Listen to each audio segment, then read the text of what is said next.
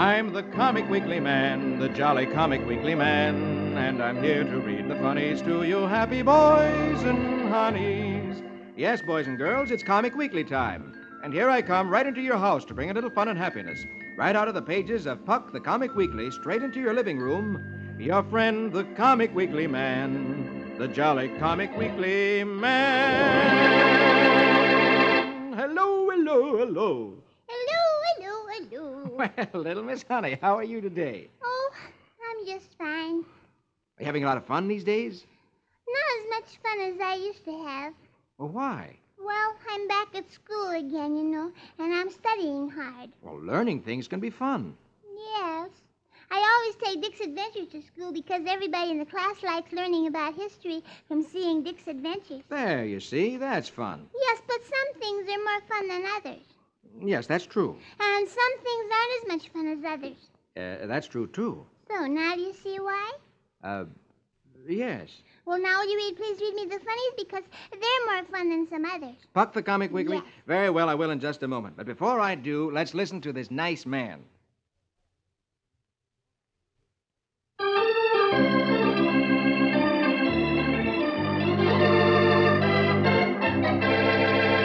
Now, here we go with Puck the Comic Weekly, and on the first page of the first section, Hopalong Cassidy. Magic words for the music, please. Very well, my lady. Six guns blazing as he thunders along. Give us music for Hopalong.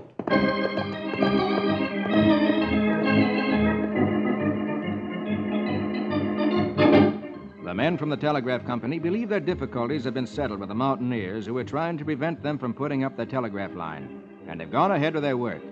Now it is night, and at the end of the first day's work, the workers have set up camp within sight of an old abandoned military stockade. Unknown to them, behind the walls of the stockade, several pairs of eyes watch them last picture top row. It is Black John and Glint Eye, who, for reasons of their own, don't want strangers setting up a telegraph line in their country. Black John has a loaded cannon aimed directly at the telegraph workers' camp, and confident that he'll have no interference from Hoppy, who he has locked up in a dungeon with rocky ridges.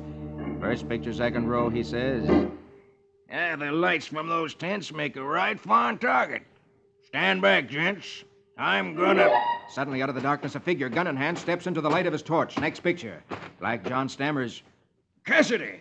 How'd you get out of that dungeon? Hoppy replies, We yanked the guard in with the rope used to lower the food, then used the rope to climb out. Rocky's guarding Glint Eye.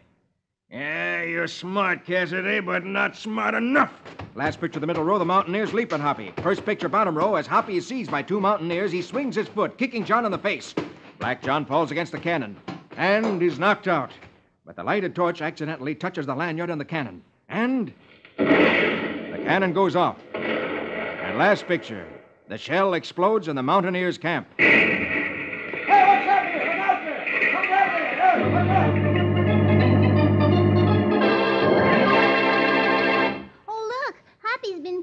By those two mountaineers. Do you think he'll lick them and get away? Well, let's hope so. Well, I hope so, too, because that cannon is aimed so that it shoots right into the camp. Yes, and now the telegraph workers know there's trouble in the fort, and maybe they'll go looking. Yes, maybe California and Lucky, Hoppy's friends, will go and help him. Well, that's something we'll find out next week. Now, Oh, look, there's Prince Valiant. And you remember last week Prince Val was on his way back home to his father's castle, and uh, all of a sudden they met two knights who attacked them. yes, Prince Val and Sir Gawain defeated them, and they continued on their way until they reached Hadrian's Wall. The wall built all the way across Britain to prevent the enemy from coming through. And uh, once before, when they went through this country, Val was attacked by the Picts, those little savage men. Yes, he was. I wonder what'll happen today. Well, let's read right now and find out. Here we go with Prince Valiant in the days of King Arthur. Hackett, Brackett, Grey Mulkin, and Quince. Music romantic for a fair, fair prince.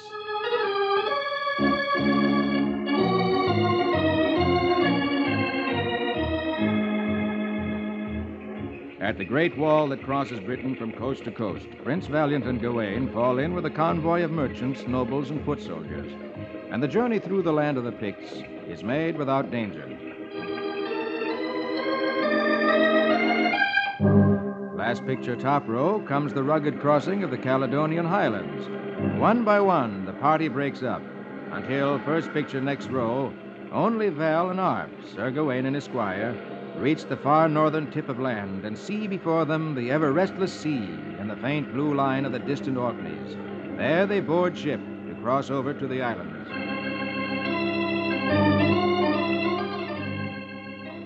The crossing gives them a sample of the perilous voyage yet to come. Then, last picture, second row, they cross wide moorlands where the sea winds moan forever through the heather.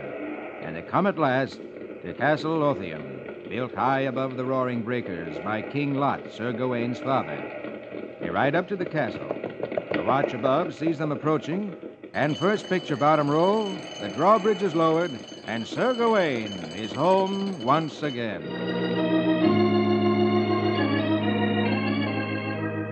Last picture, Val and Sir Gawaine are comfortably seated after their journey, talking with Gawaine's family. It's a strange household Val meets. Gawaine's brothers, Agravain, sullen and cruel. Gaheris, stupid but honest. His mother, Queen Morgause, still beautiful, but believed to be a witch, like her sister, Morgan Le Fay. And lastly, Mordred, the half brother who trusts no one, loves no one, but thirsts for power.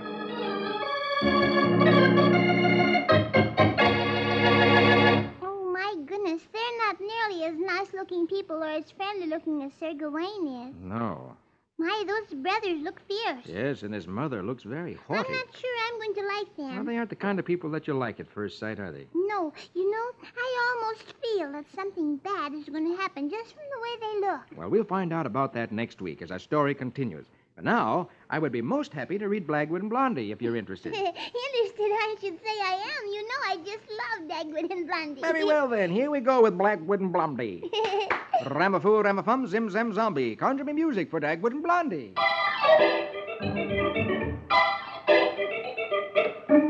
Blondie asks Cookie, her little daughter, to sprinkle water on her flowers. So Cookie takes the sprinkling can and goes off to fill it. She puts the can up on top of her head, second picture. Suddenly, the can slips, and Cookie's head is inside the can. She tries to pull it off, but it won't come off. She tries again, but no luck. It's stuck.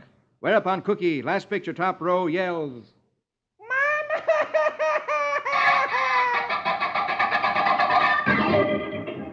Dagwood comes running. Blondie comes running. First picture next row, they try to get the can off. But no luck. It's stuck. So they dash to the doctor's. Dash into his office. Stop in front of him. Dagwood points to Cookie with a can over her head and screeches, It's an emergency, doctor! The doctor takes one look, puts Cookie in the operating table, looks among his tools, last picture, second row, saying, In 30 years, I've never had a case like this. Then he goes to work, trying to pry the can off Cookie's head. And a minute later, the can comes off. Dagwood walks out smiling cheerfully. First picture, third row. Thanks, Doc. The doctor looks at his instruments and snarls, I've ruined all my expensive instruments.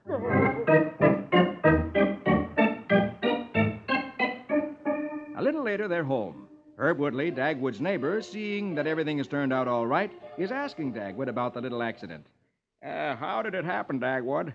Dagwood replies, last picture, third row. Oh, she was fooling around like kids do and put the sprinkling can over her head. Uh, like this. And he puts the can on his head. There, you see? Suddenly it slips. And first picture, bottom row, Dagwood tries to get it off. He tries again. But no luck. It's stuck. Blondie sticks her head out of the window and sees Herb tugging at the can, which covers her husband's beautiful face. And she's horrified. Herb shouts, He can't get it off. So off to the doctor's they go. Into his office. Stop in front of him. When the doctor sees Dagwood with a can in his hand, he yells, Nothing doing. Take him to the plumber shop.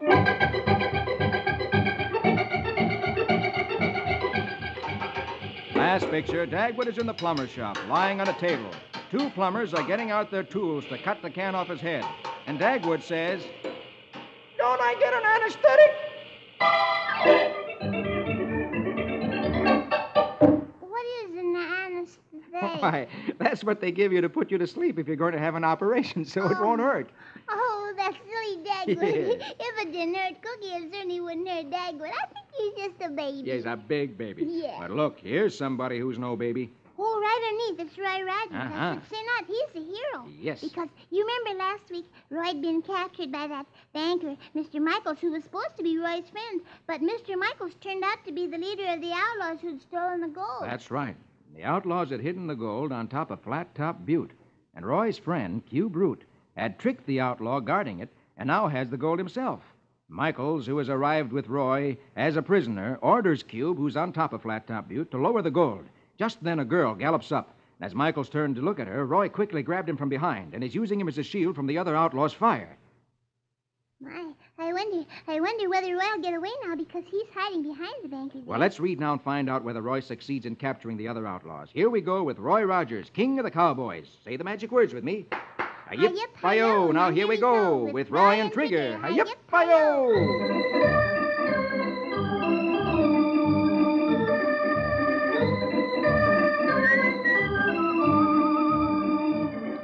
As Roy holds Michaels to him, he says to the young girl, Right, stay behind me, miss, and edge toward the rocks. Jutt and Ballast won't fire with Banker Michael shielding us.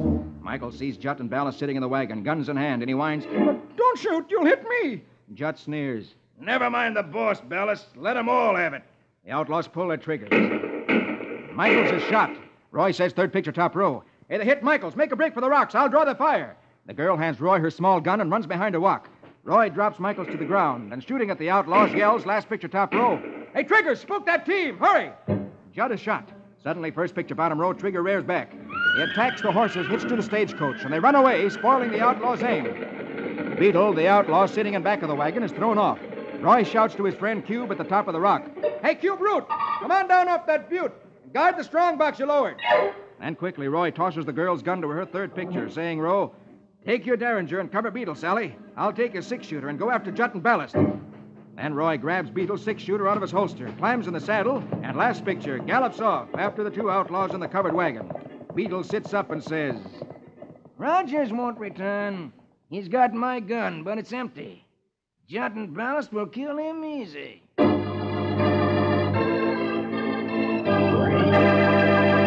Oh, isn't that terrible? Roy doesn't have bullets in the gun, and, and now he's going after the two outlaws. When he catches up with them, he might be shot. Yes, that's something Roy didn't count on. Oh, dear. Every time it looks as though Roy's going to win, then he just gets into more danger. Yes, but it certainly makes an exciting story. Yes, but I always worry about it. Now, don't worry too much because maybe something will happen next week that you don't expect, and Roy will be saved. Well, I hope so. Now, let's turn over the page.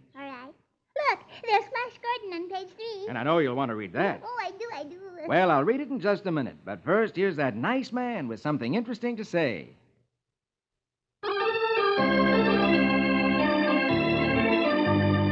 Now, here we go again with Puck the Comic Weekly, and on the third page of the second section, Flash Gordon. Magic words for the music, please. Very well, my lady. Rig a dig a doon doon, Saskimatash. Let's have music for Heroic Flash.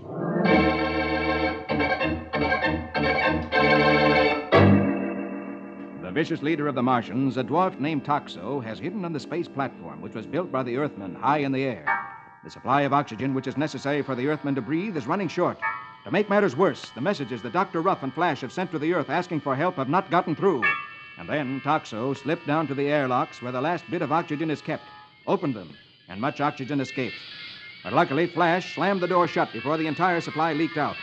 Now, as the oxygen supply of the space platform ebbs away, Flash searches grimly for the Martian pirate Toxo, who has fled into the maze of corridors. Meanwhile, the crew keeps trying frantically to get an SOS message through to the Earth.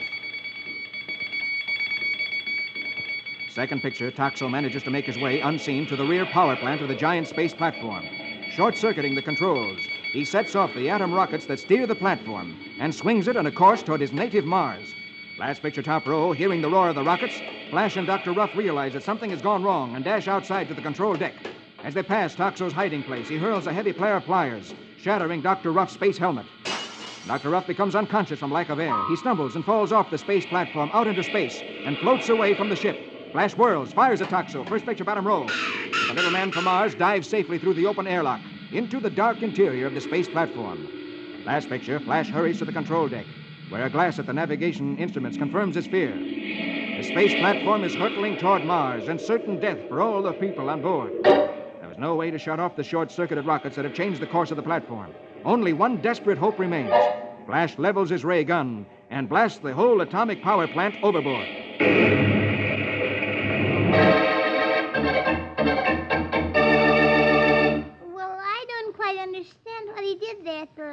Flash saw that the power plant, which supplies the energy to push the space platform through air, was making them head toward Mars, and he didn't have any way to shut it off.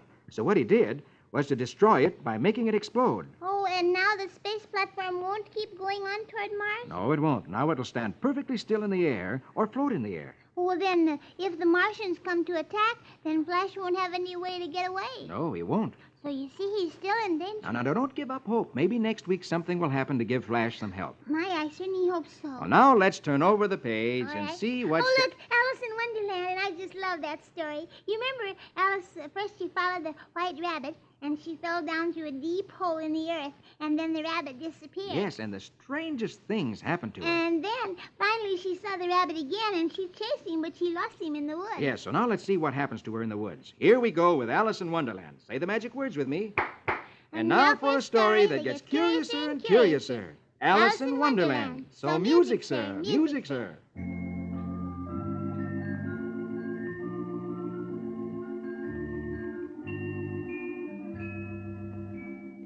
As Alice searches for the white rabbit, two odd little men appear suddenly. They're fat little fellows and very short, and they look exactly alike. They appear before Alice. In second picture, one says, I'm Tweedledum. And the other says, I'm Tweedledee. and then they both say together, We will now give you a recitation. Alice tells them she wants to hunt for the rabbit, but Tweedledum and Tweedledee insist that Alice listen to their curious story. So Alice sits down, and third picture, top row, they tell her the story of the walrus and the carpenter. The walrus and the carpenter, down by the shore, saw a lot of little oysters, also at the shore. And the walrus said, Oh, uh, oysters. A pleasant walk, a pleasant talk would be a sheer delight. And there by the sea the oysters agree, and away they go for the little walk, which they think will end in a little talk. The walrus leads to a fish food shack where you can get a little snack. And the walrus says, last picture, top row, and this is something he ought to know. The time has come, my little friend, to talk of many things. Of shoes and ships and sealing wax, of cabbages and kings. And they sit around the table, first picture, bottom row. And the walrus looks at the menu which reads, and believe me, I ought to know, oysters. And the walrus said, with walrus greed, Oh, oh, a loaf of bread is what we chiefly need. And the carpenter added some words that ring, and peppercorns and mustard seed and other seasonings. And into the kitchen the carpenter goes to do what only a carpenter knows. But when the carpenter came back carrying a tray with oyster snack, he started to say a word you know. Little oysters, little. Oh! But answer there came none. They were eaten, every one. And the carpenter looked at the oyster shells, and the walrus wiping his mouth, and the way he swelled, and the walrus who had eaten the oysters replies, Ah, I deeply sympathize. And Tweedledee and Tweedledum gasp "Ah," and say, Man, and last picture, Alice says, Well, that was a very sad story. If you happen to be an oyster. and then Alice rises and curtsies and slips away in search of the white rabbit as Dum and Dee begin a new recitation.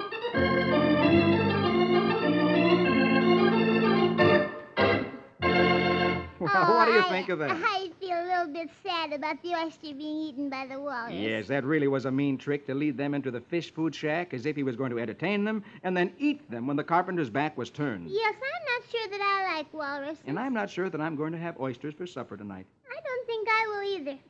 You think Alice will find the white rabbit next week? But the only way to find out is to be here next week. Oh, fine. Now I think it's time for Dick's Adventures. And I it? wouldn't be a bit surprised but that you're right. Let's see. Let's go to the very last page. There he is. Yes. And last week, Dick woke up from the dream that he had about the early days of America, and I wonder if he'll have another one today. Well, let's read right now and find out. Say the magic words with me.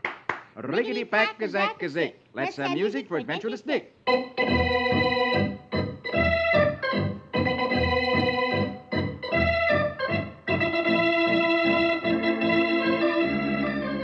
Dick is sitting in his chair with his dog beside him, thinking of the early days of America history. And he's been humming the Marine hymn. And he murmurs, You know, the U.S. Marines hymn has the words, To the shores of Tripoli. What went on there, I wonder?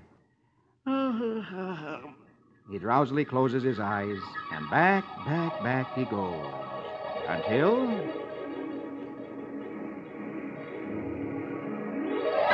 He finds himself in his dream coming on board a ship. He's surprised at this. He looks around and sees sailors in strange costumes. It's the year 1803, almost 150 years ago, which is the reason why the sailors' clothes are so different from the ones today. And the ship is a sailing ship. First picture next row, Dick looks around the ship and at the cannon, which are the ship's firepower. He shakes his head as he looks at them. The commanding officer glares. Dick turns as he hears a cultured voice saying sarcastically, I gather you don't hold a very high opinion of our ship. We'll arrange for your transfer to a vessel more to your liking when we reach the Mediterranean. As he walks away, Dick asks first picture bottom row, Hey, who's he? Dick's companion replies, Oh, nobody important, Dick. A Lieutenant Stephen Decatur. But Dick doesn't wait to hear any more. He runs to Decatur, stops him, and stammers out an apology. Decatur smiles, and they become friends. The ship is put to sea, and at length, after crossing the South Atlantic, the Argus, for that's the name of the ship, comes on a group of Yankee fighting ships headed by the frigate Constitution, blockading the Barbary coast, opposite the pirate port of Tripoli. Dick, standing in the stern of the ship, seems to remember that a ship commanded by Stephen Decatur once engaged in a terrific battle with the pirates, and he wonders what is to happen.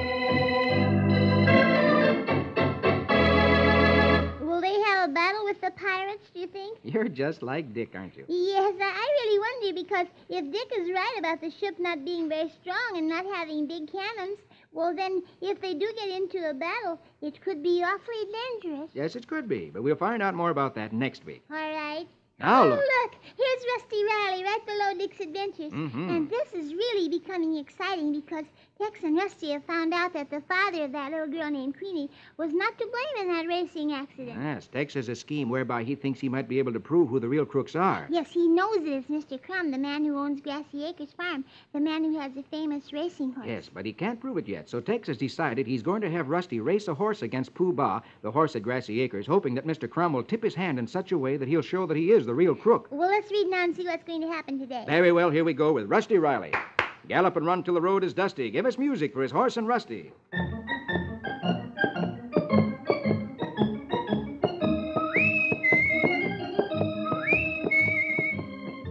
A racing sulky, which is a little cart hitched to a horse for trotting races, has been brought to the Miles farm. Rusty asked Tex, first picture, "You know that we have a sulky, Tex, are we going to work out Snowflake on our track? Tex replies, Well, two of Mr. Miles' new saddle horses are trotters, Rusty. We're going to use them to give you practice riding the sulky.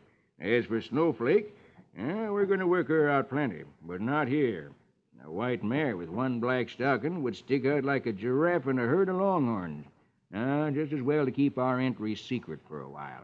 Rusty replies, Oh, sure, that's right. Queenie's father might find out. I almost forgot. He doesn't know Snowflake is here. Meanwhile, at Grassy Acres, last picture top row, Mr. Crumb is talking to one of his men. He's saying, Hey, Marty, I've got a pile of dough on my horse at the county fair. I hear there's an entry for Milestone. Who we got that could do a little clocking over there? Somebody they don't know. Marty replies, Uh, Carpy's the boy, boss. Nobody around Lexington knows him, and he's a good judge of horses. I'll send him in. Marty goes out of the office, nods his head, and another fellow comes in, first picture bottom row. Mr. Crumb leans forward, saying, Carpy, I want you to amble over to Milestone and take a gander at whatever horse or horses they mean to enter in the county fair trots. And don't spill where you're from. Here's a stopwatch. Carpy replies, Sure, boss. Leave it to me. A little later at the Miles farm, Rusty, on the sulky, which is hitched to one of their horses, goes out on the track. Tex gives him his last minute instructions. Now, Rusty, this is only driving practice for you. This horse may be an inside kicker, so if you see me wave, pull up before he hurts himself. Okay, Tex. And around the track, Rusty goes. Third picture, bottom row, Carpy, the young boy from Crumb's farm, comes up beside Tex and says, Hey, you don't mind me watching a while, do you, mister? I'm just a grocery boy. Tex replies, Help yourself, stranger. At that moment, Rusty comes riding around the bend. Rusty calls, How about it, Tex? Can I let him out a little? Tex replies, Okay, Rusty. Let him out for half a lap.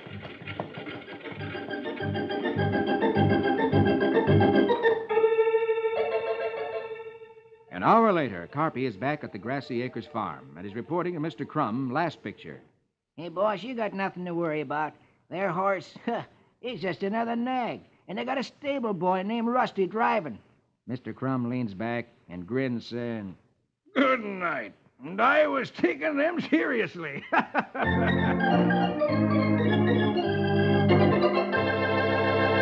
Do you think that boy found out something that will spoil Tex's plan if he watched Rusty riding the horse? No, I don't think so. I think he found out something to help Tex's plan.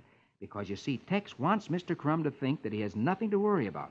That's why he let Carpy watch Rusty when Rusty was running one of the poorer horses, you see? Oh, I see why now. Oh, but he won't let him see snowflakes when she's running. Oh, no, I don't think so. That'll be the big secret. And the day of the race, he'll bring Snowflake out to run in the race against Pooh Bah. Yes, and, and then I just hope that Snowflake beats him good. Well, that's something we'll find out. Now, that's all the time I have. But before I go, here's that nice fellow with some more interesting information.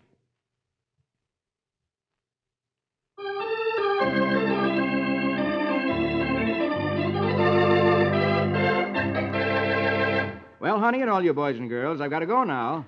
Right, Mr. Comic Weekly Man, but I'll be waiting for you next week. Okay, that's a date, and a date with all you boys and girls. Be sure to meet me with our little friend Miss Honey next week when I read Puck the Comic Weekly. For I'm the Comic Weekly Man, the jolly Comic Weekly Man. I'll be back to read the funnies to you, happy boys and honeys. Don't forget, boys and girls, see you all next week. Your friend, the Comic Weekly Man, the jolly Comic Weekly Man.